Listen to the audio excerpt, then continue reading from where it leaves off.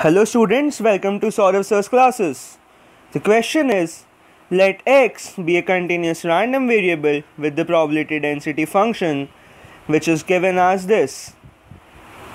Then probability x greater than half and less than 2 equals.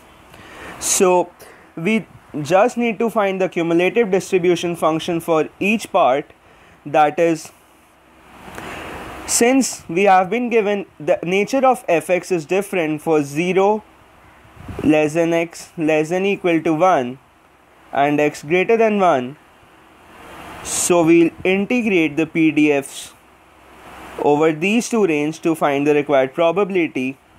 This would be probability half less than x less than 1 plus probability 1 less than x less than 2 rather this should be half less than equal to 1 half less than x less than equal to 1 since we have been given less than equal to 1 over here.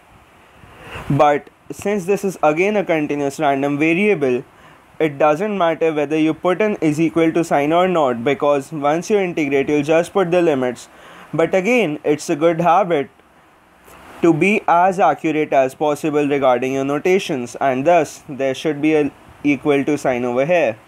So now integrating this half over to 1 x cubed dx plus 3 by x to the power 5 integrating this over 1 to 2 dx.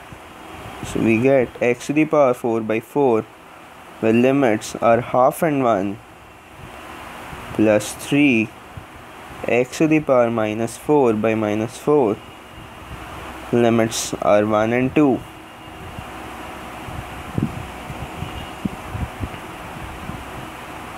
so on solving this again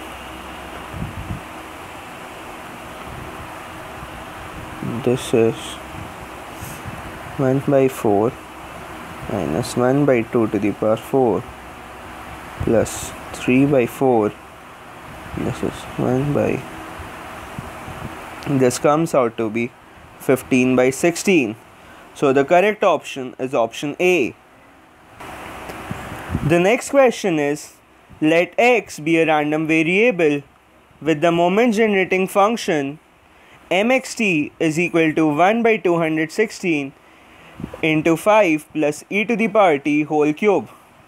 So now this mxt can be written as 1 by 6 cube 5 plus e to the power t whole cube and we can further write this as 5 by 6 plus 1 by 6 e to the power t whole cube.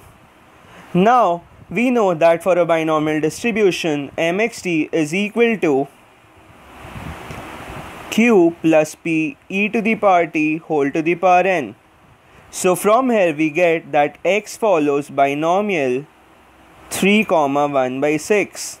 Thus probability x greater than 1 can be calculated as 1 minus probability x is equal to 0 minus probability x is equal to 1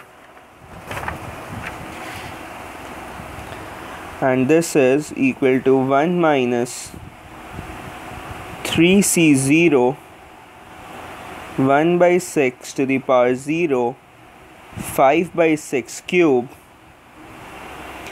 Minus 3c1 into 1 by 6 into 5 by 6 whole squared. So this is 1 minus 5 cube by 6 cube minus 3 into 5 squared by 6 cube and we get this to be 16 by 6 cube which is 16 by 216 that is 2 by 27 so the correct option is option A. The next question is let x be a discrete random variable with probability mass function px is equal to k into 1 plus mod x whole squared where x is equal to minus 2, minus 1, 0, 1 and 2. Where k is a real constant, then probability x is equal to 0 equals now we have been given that x is a discrete random variable with PMF which is given as k into 1 plus mod x whole squared. Now we know that summation probability x is equal to 1 for the whole range of x.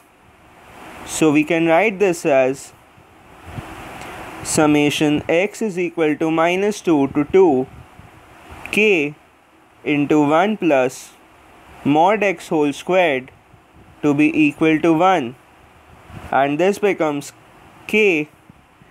Now 1 plus mod of minus 2 is 1 plus 2 so 3 k plus 3 squared. And similarly for minus 1 we get 2 squared. For 0 it is 1 squared. Again for 1 this thing becomes 1 plus 1 whole squared so 2 squared. And similarly for 2 we get 1 plus 2 whole squared so 3 squared is equal to 1. So k into 27 is equal to 1 or k is equal to 1 by 27. Now the probability that x is equal to 0 equals k which is 1 by 27 into 1 plus mod 0 whole squared this is equal to 1 by 27 so the correct answer is option C.